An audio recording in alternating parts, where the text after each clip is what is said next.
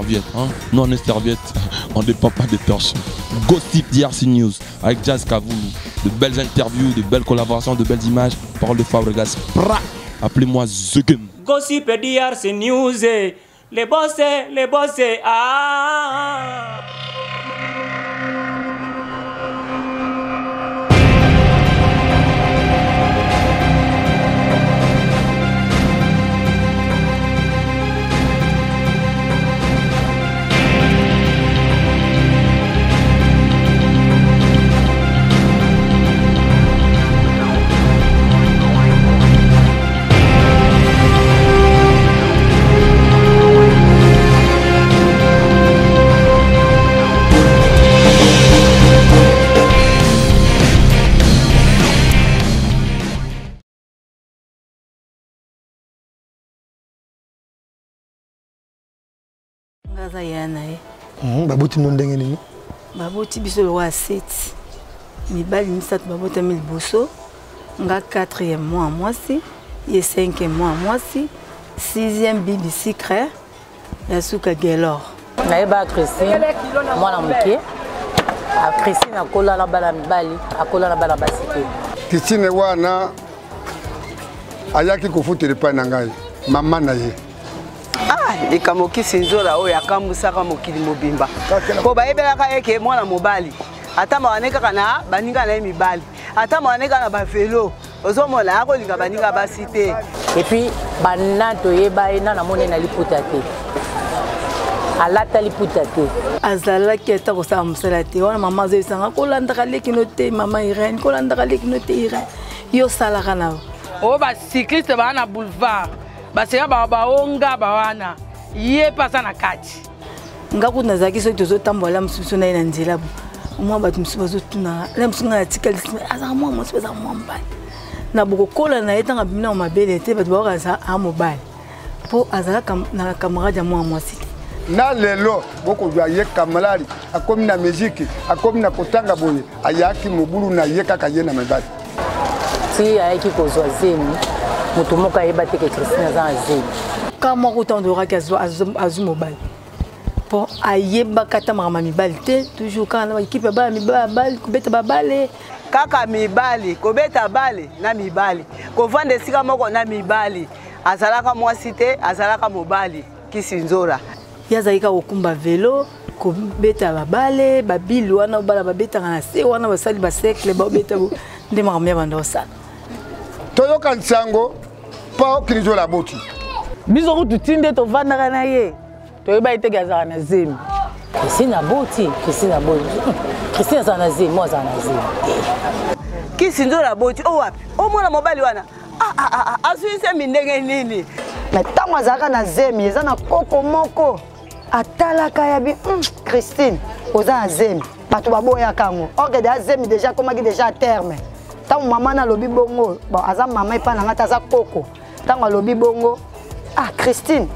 aza na zemi orke deja akomaki a terme deja alingi mpenza nde abota abota na efarsa na 1996 tozovanda ensemble ndako moko me okotya ata ide te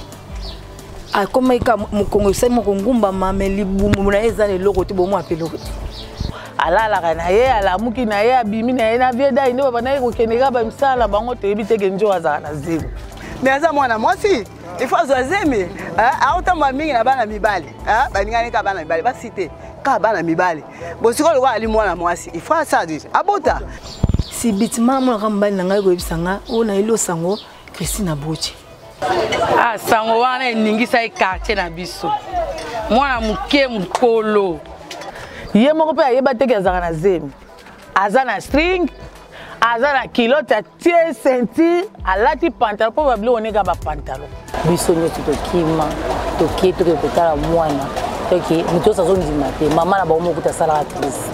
bakei kuna place ya botaka na efarsa mais ebukani te bato nyonso bakoloka bakota na kati ya lopango mboka ndote mwana kiri nzola oyo ana sanza ye na bino kondima eloko wana te biso kondima yango tokota motuka tokendoke mona bayaki ya solo nde aboti te tongi tomona kaka ya solo soki kisi nzora aboti nzora na kobota ne likolo moko koto oyo bakangi yango na infirmier likolo moko koto bakangi yango na infirmier nakota kaka boye nakuta bena christine avandi na mbetu bebe alali boye na ndeke azakokata bakwafi na ye wana ngabi e eh, njora njora oboti asimbaka mutu ka mystique petit on a comprendre te ye kutu aloba nini o ye blaise ah bare noka mwana yango bare noka petit yango mpo ngai papa na ye katanga ngai moko makolo paka paka paka na mbeto na ye na mwana nakamati 150 franc natikeli bango namoni mwana mwana babi tondimaki te ke mwana mobali mwana mwasi oyo akoki kobota mpo toyebaki ya mobali tala bato na tabora tala bato batondi eh, na tabo vrai bebe mystique na comprendre te zemba ngo so ezalaki wapi nazwa mwana kitoko mwana na botamaka dacris mm -hmm. nyonso toyebi na biso teke azalaka na zemi biso kutu topesi ekisa banyama ngai napesi ekisa banyama ata biso tobanda koteka na wenze pembeni na bango wana toyebaka teke christian azala zemi mama na bango pauvre mama bandi kolela bosali nga boye mpo na nini bino boyebi aza na zemi bokoyebisa ngai te mama na bango mokuta asalaka crise te azalaki mwasi ndenge alaki alingaki kaka baninga na ye mibali baninga na ye kosaka kaka bana basi te bana basi kaka bonjour bonjour esili lokuta donc motu to alingi amona kaka na misu mpo andimaka aboti donc yaki scandale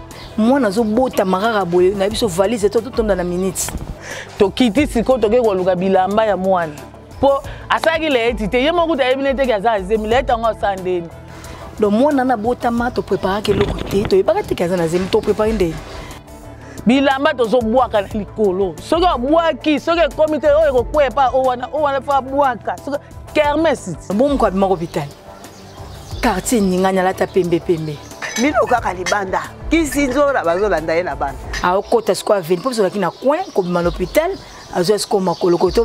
bato na balupango bazopesaka bambote asalaka boye kisi nzora succès ya ndenge ayaki na jalousie ya bato te ayaki na jua ya bato te ata lere wana nakomi na makambo ya bamiziki te azala deya star ka ndenge abotama kozala ndenge na ye wana eza deja kistar ntango aye kobota nde akomi oyo bobenga nga komo na nga ezongi christine me nana nga obenga ye christine mama ye moko azwaki ye mpema mpo bavandaka na mama ti mhm. ti mama abotolaki edakisa tie na maboko ne mo mama ye moko mosoki mpe na mwana me ye aza na ye wana me makambo nyonso mama mwana alalaka na mama na papa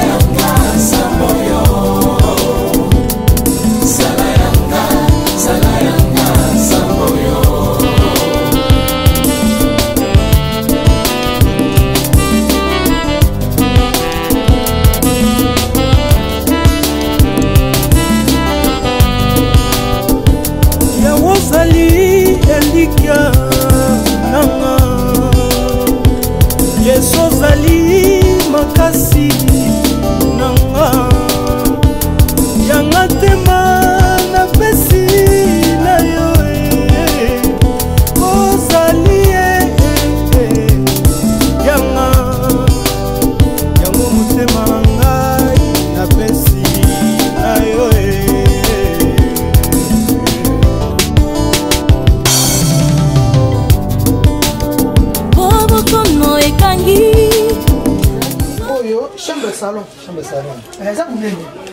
Nayebi bato bakoma mpe awa. Ah, eza munene, mpasi wakoboteka nga awa. Mpasi wakoboteka nga awa na baminui. Mpasi eleki, naye na ndako ya mama. Mpo lupango tola benge ye mama kulutu. Naye mpa na ye, na bana na ye tofandaka koko. Tokozala ne baage moko, mpe asona makufa. nabandi kolelela bango wana donc euh, lupango ezali ba veda azaki hmm, azalaki te vie abimaka atikanga na ndako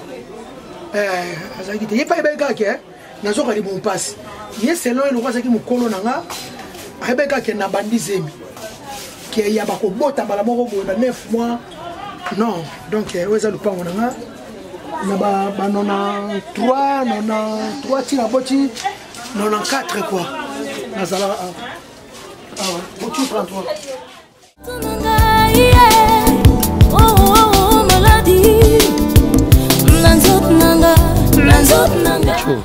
we aveni rutu aveni oyo mpasa kobota ezwaka ngai na ruture numero 33 eh, en tout cas ezalaki événement ezalaki événement mpasi wana nazo reconnaître lelo ntango tokomaki bakote oyo ntango basimbi ngai bazomema nga tokomi bakote oyo makolo mpo ekangama boye makolo ekomi kaka boye makolo kaka boye makolo ekangama lisusu te nazoyeba te ah, makolo ndenge esali nini nakoka soki kotambola te ntango topusa tokomi na coin mama azalaki kotinda noko na biso aya kotala ngai mpo natindalaka mama malobaki eh? nazoyoka bien te ntango tokomi na coin awa ya routure awa na galasitamo nakute na noko noko atuni nga christine nini nayebi noko nao kotambola te noko amemi nga na mokongo bamema nga na coin oyo oyo batie mapa oyo vraiment awa mpena nakoka esu te vraiment nayoki pema mokuse ngai nalobi aye nakufi na ngai mpo mpasi ya babota yango ondire bandanga na ba, ba 23 heures na 23 heures ya le 20 mpo nabota le 22 juin eh, coin oyo coin oyo nde toza awa awa nazokoka soki kotambola mpena te makolo vraiment eboyi ale moke te noko azala koya bautaki epai na biso tokoma tie mpa na biso noko abimi amemi nga na mokongo toke na hôpital yango totala yango moto apesa soko kombo kisi nzora yepe aveka na veni otonde eh, moto apesaka kombo kisi nzora ya pami eh, toketala ye na ngoma na kwe wana soki aza wana totala ye wana vraiment vie na ngai ezali histoire moko ezaka nde nzambe atinda ngai jazz naye kocomprendre yango lelo ke moto apesaka bato bana eza nzambe banda mpe nabotaka mwana wana moko na vie na nga nsili oyo nazwa susemi mosusu te na vie naye kocomprendre hôpital nabotaka yango wana naye kocomprendre ke moto apesaka bana eza nzambe nzambe nde apesaka bana mpo na bandenge na ngai bakisi nzoka nakola na kimobali makasi boye kimobali makasi kosaka mingi na bana mibali nzambe ayebi mpe kaka ke oyo so nabimiseli ye zemi monene akoki komiboma mpo na ngai namona nzambe asalanga surprise eh, oyo naobetela eza histoire vraie ou soit hmm. soki oyebaki déjà na avance ke ozali na zemi ntango oza tanta okende olongola te na ngai nalongola wana mpe na obligatoire na ngai nandima te succès nazalaki nango naosala bacourse ya velo bamona ngai na zemi na ngai nasepela te donc nzambe mpena atika ngai libumu plat tii na suka ezala te nasala couchema te nasomba eloko moko te nakenda kilo te me nabota mwana 3 kilo 400 ndako etage oyo eh, lelo ekoma ndako mosusu etage ezalaka wa echangea yobi kaka mokili yango nde bato bachangea batekateka kua bato batekateka ezaka hôpital oui awa ici kala ezaka hôpital monene kala ezaka hôpital monene farsa awa toya na veni tabora awa to ezalaka scandale coin ti coin plein avant kota 150 francs 150 zaire nani ozwa mbongo moto azwa mbongo moto aporte apesa moko moto apoli clinique tema plein eleki akomosenga bato mbongo soki ezalaka basera lelo bawhatsapp bafacebook nde scandale so azwi mbongo mpo emwatya na poche na ye tolo amata na scalier moko ezalaki omati bongo mpo namata na scalier wana tanto blaise ngai lupango mosusu ezalaki na coin tokokoma kuna bango toyebanaki na bango baza badoktere na biso tozalaka na bango chaque jour biso na koya bango awa mbala moko semeki na ngai abi mpasi oyo eleki makasi tomoni mai ebimaki ye na ndako euh, bosala etouche kosala kaka badi basala ngai touche moko alobi te botala tension nayebi te tension emonisaka moto aa na zemi batie ngai tension mètre ame dégât mba moko tonto blaise abi c'est enfant nga nalobi enfant oui abi c'est enfant donc euh, ezalaki événement mama na nga azalaki na kua aza koteka maleo ya seri wana aza koteka restaurant tonto blaise mbala moko na papa de tezwa babimi na bagan bakei koyebisa mama ke christi aboti mama abi te bayebisa na christine azoka mpasi na libumu natindi leki na nga dindo akende kuna est ce que christine akufi te donc ye ntango ye ntango baye osenga bilamba akanisa mpe ntango mosusu okufi mama ebaki kaka na kufi mama pike crise mama pike crise mama alinga akufa na mama na ngai afa alinga akufa abi te blaise ozokosanga esalanga mpasi mais sikoyo na momani na moma nini sikoyo okomaki kolinga beatrice parce que ntango obotaka ye olingaka ye te koma olingi sikoyo na moma nini ntango ah. naboti mama abi bopesa nga mwana esala nga mpasi esala nga mpasi mama na nga mtabokola ye mama abi christine akoka te amwana nga na toyebi nayebi bana nga basi na boti mama na nga alinga akufa mokolo yango mama alinga akufa mama pike krise akela moke pa papa dilala papa moto azalaki na nsima wenze wana ye pakufa na hopital na ye mama penasi akufaki bayebisi ye kristina boti ya nzimi te nzembe emonana te nzambe asalanga miracle nzambe asalaka miracle eh, na moma nini okoma kolinga dankris na moma nakoma kolinga ye ntango naboti nayebisi doter boma mwana wana moto ayebi na ye tekena na ngai na zemi tanto blaise abi non mwana 3 kilo 400 boye christine le msuka doter moto ayebisa ye nga le msuka nzambe apesoka mwana moko na mokili ayebisaka nga bongo nde ka docteur alobaki yango mpe esalami abilinga ye eseleki nango naokende lokola mwa soni bamonaki oboti bamonaka na boti chance naleka kuna azalaki mpe kaka na mobali moko na vi na nga oyo nazalaki na ye badefrese nga na 19 ans nde nabota na 20 ans lelo wana kaka na mwana moko wana mama na nga asali tout abokoli mwana wana na mpasi mais soni noko c'était par rapport à quoi ke neti bamona neti parce que yo ndolinga mikoza bakamada bana mibali neti mwa mobali moto aboti donc soni na france wana kutu bato bazalaka otonda na hôpital bayebaka ke mwana mobali nde aboti ko lopango tokoli commerçant numéro 4 gombe atu ah, bababia bino nyonso biso tu na oyo etala ye nango ya koko na ngai oyo hmm. oh, ah, salon nani ezalaka eh, monalise kona biso yango oyo ville yango wana liboso na biso biso mpe ka ville Ville bandi ah.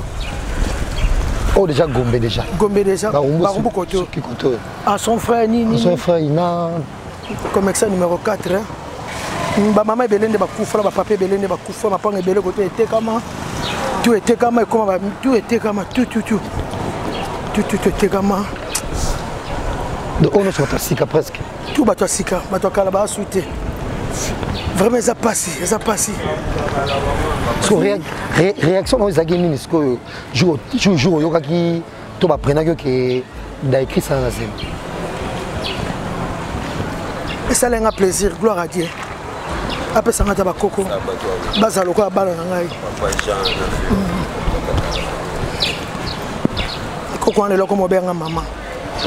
esalaka nga plaisir awa ah, tu mapango bateka babudu samba lopango na bango yango oyo garçon de chance na lyon mhm. lopango na bango yango oyo na mapango nyonso eza kote presque tout bateka ozali yanga yango motima na ngai ya tabu ya na mpenza ya quartier mm. alobi ntango oyokaki mpasi ya kobota bango bayebaki te mais ntango bokomi na hôpital olati pantalon otie susu culotte na se otie susu cycliste otie susu string pourquoi babloke ebele nyonso wana nzoto oui en tout cas tabu c'est ma sœur euh, eza nde nanga nalataka na banda kokola bongo bon moi respect kaka ngai nalataka nolongo na kaka moke kaka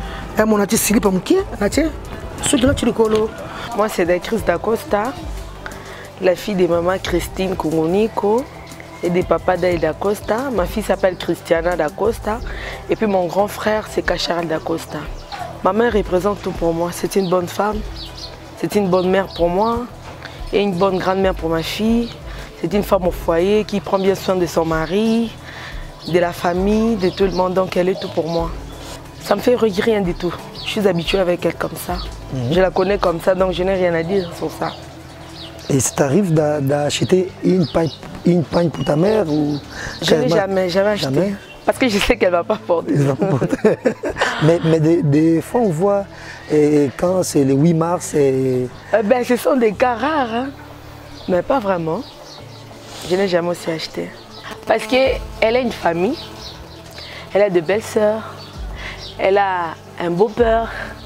elle a euh, une belle-mère, elle a des enfants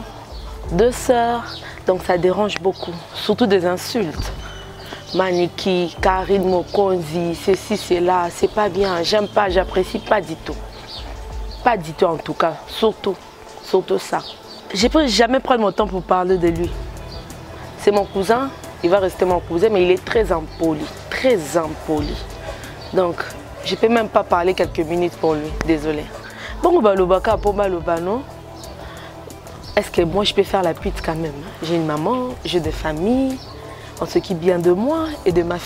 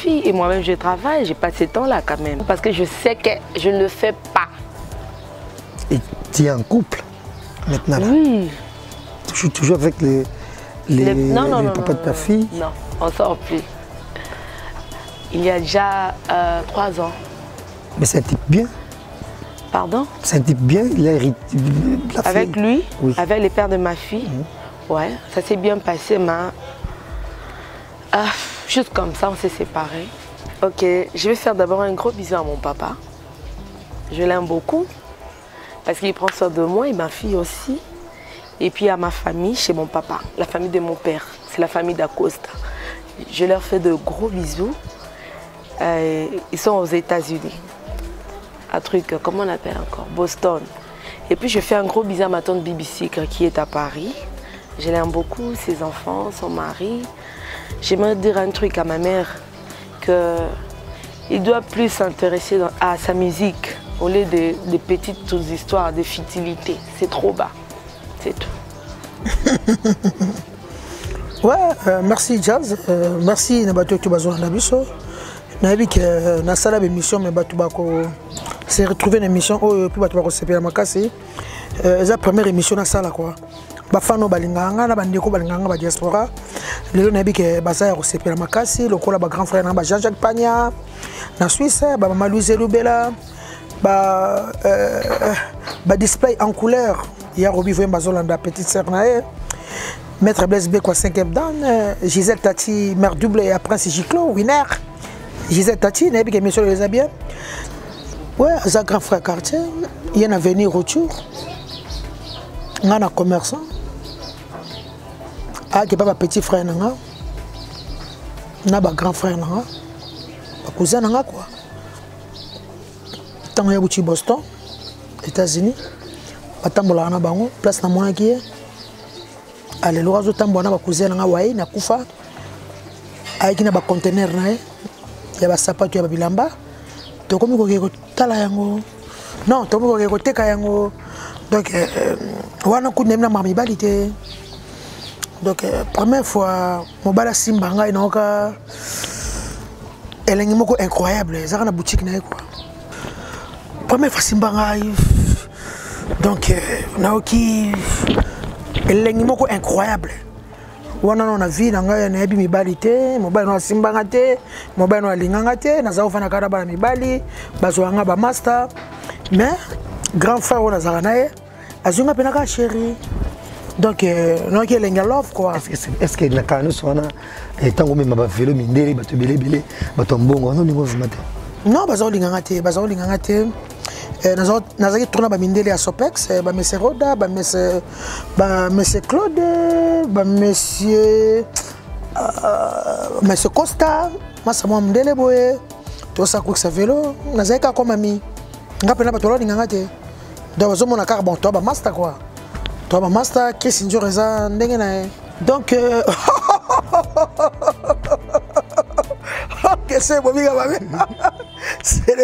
fale oyiluka mabwa bakata singa no sikoyo mona yiluka naki mpasi mosusu ya te namwaka elengi yango ezeka epa na ye mhm. eh, namona mpasi mosusu naki elengi e, e, elengi boye ekozala te kua ezala te il paraît toyoka mpe susu bango masolo babi olinga jamais vedai e nolande mingi parce que ye azali jika uti poto ata bilamba kitoko yo ndoki defande bilamba na ye mpo olataka mais okreela yango mpe kisheri mais ezalaki beaucoup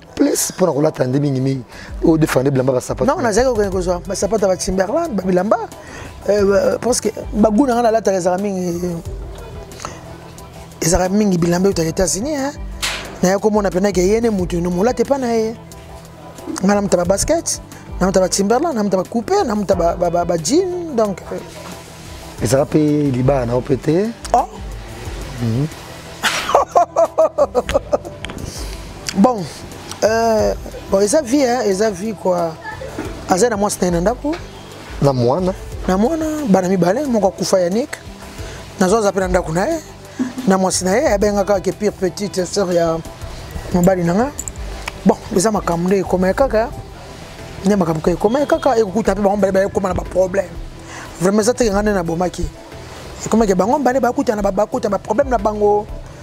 donc euh, eza ngai te jazz eza ngai te ekosenga mpe ke baye kozala susu te na ndenge gracier wana kende belgique na ndenge aye eh, kokufa ebemeyaki kinshasa tozalaki wana est ce que bavida ya age age na ye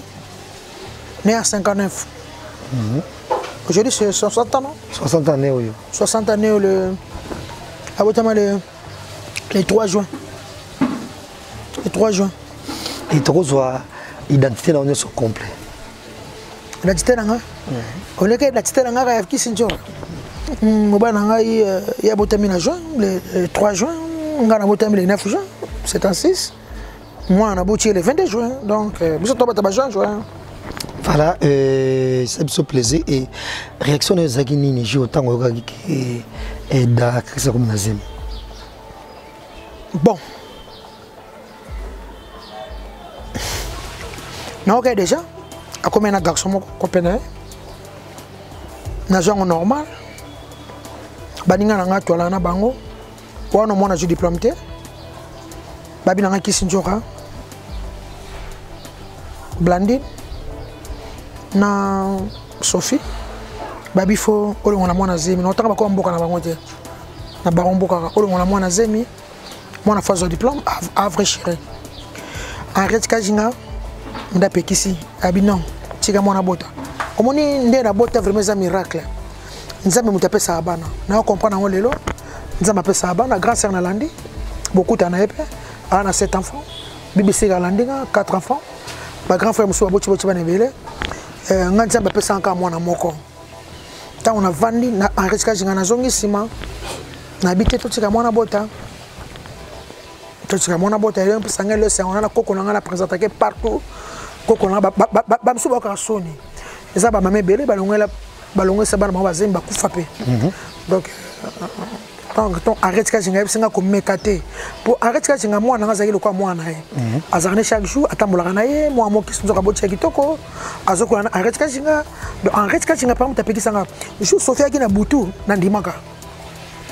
eh, nandimaka sofi aye mposo na esai mwana tolongola mwana ninga andima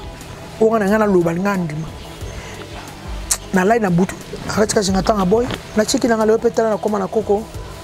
esala nga plaisir makasi na retaka mama aboti ngai akufa abokola mwana na ngai amoni kokolo na ye te susi na nga vraiment yango wana mama aboti nga pauline amesa mwana na ngai mabele azwaka mwana na ngai donc eh, mwana na ye dactrice atikaki kobenga nga mama te abengaka ya nzora mama botyaka na abengaki mama soki esala nga plaisir lelo koko na nga abengaka nga mama bato baloba nga na lokola mobali nga comme ça comme ça mais koko na nga nene abika na mwasi koko na abengaka nga mama koko na nga monaka mabele koko na nga monaka ke na mama mais bato mosusu ti lelo bo atuni nga mokolo wana na ndako pourquoi mama dada abengaka ko mama te yabengaka mama te pourquoi mhm. abengaka mpe mama ne yaya eh ya ba ya ba mama ne mama abe mama ne mama ko jabe nga mwana nga mama nga pe mama mhm. mikolo so na ngo kene ko yebisa ye azaka eh, eh, oui garçon mo quartier ya ya prière ko ko nzoka azaka meme na yo ayo tuna nga ouais en tout cas merci euh, bon baba ngolais badacosta baba zombo Hmm, eza na bango no na papa nazalaka na états-unis azalaka na boston mhm. depuis 81 mwana bango mpe azalaka na boston ye famille nyonso bazalaka na boston baleki na ye presque tout bana boston moko aza na paris denise do bango presque tout famille mobimba bana boston papa na bango euh, bango baza bangolais donc euh, baluki na bango bazwa yango normal parce que na ngola balataka comme ça parce que mwana nanga aza fernanda da costa ba crise donc euh, bazwa yango normal ba belle sœur na nga ba françoise kabata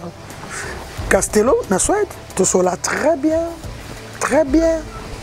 oyo oh, tobana kin toala très bien donc euh, elo balingela ngai euh, bayebi ke kisi nzoka mobula mibali te bon na, bon, na, na boyi te nga mpena nayebi te mobali mosusu ayebi nzoto na nga te bali mosusu na vie ayebi nzoto na nga te oyebi nzoto na nga alex aza te Donc, euh, meilleure émission. Hein? Déjà, déjà, tu as senti que vous avez vraiment responsable parce que grâce na yo mpe yango bosomba ndako na yo na mobali na yo eh, oyo bato ebele ta mosusu bakaka mpo osala te mm, mm. okoki kaka na loyenge mais lelo mpona bafille tout oyo bazanga bagene mais bazokola lokola yo ndenge yo okola olobi ya bango nini en tout cas merci beaucoup question yango esali ngai bien vraiment layeni kawa makopi na mwana lelao fort aboudou samba mon ami garçon de chance na lyon gisèle tatimer double ya giclo yoyebi na lelao fort texas katadi yo yebi mon ami yebisa vie na nga alita tiamala mon vieux nasali nzemba kitoko mpo na ye ya salsa yebisa alita tiamala nga na mwana ndako bato ti bayembi ye asepeli me yanga akosepela sur place texas katadi yebisa vie mon boss wana grand frère na ngai asalanga trop na vie eh, akunda papa na ngai ya kulutu alita tiamala wana vie na ngai naloba boye bato oyo bafi baza baluki na ngai bato bayebi kaka biso tozwaka bamibali te bato bayebi kaka ke bafi bazalaka baluki oyo bazalaka balesbienne bato bayebi ke bafi bazalaka kaka bono naza grande sœur nanga chigoros aza na mwana papi donc eh, eza ke eh, eza ka balook na bamoko eza na ka balook mwana mwasi sukasuka kaka fa bala fa bota loso nabotaki te nde na na valeur oyo te eloko wana nakoyebisa bango ata olati pantalon ata olati soki kete ata olati timberland ata okati coiffure lokola mobali oza kaka mwasi sukasuka mobali kaka suka suka pe ka fo bota kaka kosala teke ngai naza boye ngai ngai jo te toya bajo te na kati na biso toyaka basi kua ebi pourkui okanisaki bongo oyesa docteur abomane kaka mwana jaz eza mpasi vraiment eza mpasi nalinga somaka bango fonema te nalobi yango kaka c'est première fois bato bayoka histoire oyo eza histoire vrai nayebi te so otambwe na quartier otuni bato bamisusu bayebi histoire oyo vraiment nasalaka mabe ezaka kokola loyenge nayebaka te nzambe asala nga surprise moko incroyable nga bangambo bana nga mpe kaka crise alinga akufa to nzambe mpela asalanga surprise na biso soki atyanga bazemi minene minene wana so na miyebekela na zemi ndenge nalongola yango eza na tata mwasi na biso akufa loseno ya na papa na biso na 1918 ye moto ayebisanga ye aye koyebisanga nde nakomi naye nabota na loseno tata mwasi na ngai yo mwana david yo yo bandi zemi nazwa yango lokola baba bonzo donc zemi moko nazwa na explike no bato très bien ndenge ezalaka bamalaise eza te ona la tondolo eza te zemi moko nakimaka mbango chaque jour nakumbaka velo mpo nga azali mita velo nga mpa mosala na nga velo nakumbaka velo chaque jour nakimaka bacross na pokwa ezala te zemi ya boye chaque fois kafana sa entraînement na nga na na zemi jour mona bosanaka te na kaka libumu pasi nayebisi serre moko tabo bato batu na mwana ningana na libumu wi nayoka une fois deux fois mwana ningana nga na libumu nayebisi ya tabo nazoka lokola banyama ya tabo wana tozalaka vana eh, lopango moko na kutu 33 ye moto aselanga kisi ya lungwela eh, kisi ya eh, kisi ya ai na ai na lungwela ye moto asalelanga ya tabu wana na ma ya kobota ya biso basi ebima nzoka mpenza kabo awa kaka na kati ya ndako me na kutu 33 na sitasa ma ya kobota ebimaka eh, o oh, nini leki na ngai moko nazalaka ne ya mwasi aza suta kufa koko nde moto apangusa yango kino mpe nzoko asimba ngai na bernadette tata mwasi ya, ya mwana na ya bana na ye tie liboko boye nga mpe na tie liboko boye toke na ye na efarza efarza polyclinique moko ezalaka tabora tokoti na ye kuna tomati na escalier tomati na escalier ti akoti moto abotisaka ya blaise ya blaise moto abotisaka ye mais azalaki docteur oyo tabanda kokendele kuna mini hmm. tokomi kuna ya blaise siko basala ye touche alingi te nzoko alingi te ya blaise toyebi ya blaise kata ye ka ceinture wana akati yango na sizo ya, ya bamédecin babendi ye na pantalon bakomi susu na deuxième bakuti ye susu na, na kilote bakati yango susu na na sizo na ceinture wana nsima yokuta string na kati aye obenda ye eleki deuxième jour eleki ba trois jours loki susu eloko moko etunaka gugru tozalaki na ya rose ya boye na villancourt ya nanga alain dema ayebi ye napesi ye mbote nayebi ya rose nalali te libumu eloko moko mpena osanti mpena ke banyama nabuluke banyama nde ya rose mpe asalinga kaka ali na tangawisi ena ngwila na nini longwela wana soni nini nameli kisi ya banyama ya niveau nyonso me nzambe kaka moto ebeka kobatela mwana ekomaki chaque jour ya rose apesa nga bakisa nini nzambe kaka moto ebeka kobokola mwana mais comment yo mwa mwasi comment oyebaki te koza azema tellement nafandaka na bana basi te eh, moko nayebi bongo nalinga yango kutu te donc edérangea nga namonaki yango kembo eloko yango erme ebima nga nayebi te nabebi na tache de namonaki yango ke eh, eza nango eloko moko boekimaka nango eke nango bakota suka mpa namoni eza susu te ekendaki nango neti règle mpena nde naza pa kivie nzora bo ekotika nga na pema na ngai te ere bopesa nga kanda ekotika nga te vraiment règle me ekotika nga te en tout cas euh, okobika mabe bon kobotela nga vraiment eza miracle quoi eza miracle quoi vraiment eza miracle euh, chance kaka euh, nazali mpe na mobali moko so nazalaki moto ya mibali ebele ebele mabe moto adefrage ngai wana motu tozalaki ne kaka ye wana surtout natouchaki mbali mosusu te donc eloko esunga ngai yango wana eh, mama louise elobela ya catherine njoko yaya bodi kirona na civil mokonzi ya wartelo elvis alomba jibe kumaluta nde le pétrolier de danas Mireille Matingo ozoka lisolo ya Vieux Njora oyo eza histoire vraie la plus belle femme du monde Mireille Matingo oyo eza histoire histoire vraie ya Vieux Njora nazobela hmm. sikoyo eloo nini esalaka olobaki oboma nga eza mpasi ma fille eza kaka kokola bomwana bon, telema bato bayebaki mpe te baparent nazali na kotanga classe yango nayebisaka docteur bongo mpo moto ayebi na ye te namoni na okata classe baparent basilika bon mpo na ngai seleka euh, je suis toujours ta mère